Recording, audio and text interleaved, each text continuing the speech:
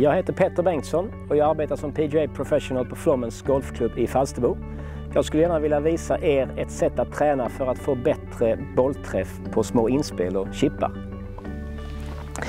Ett vanligt misstag många gör när man ska slå ett inspel är att man lutar sig bakåt i slaget för att man tror att man ska hjälpa bollen upp i luften.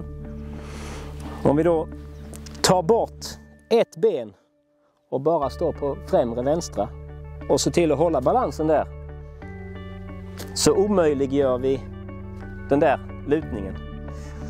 Och står man då kvar på det benet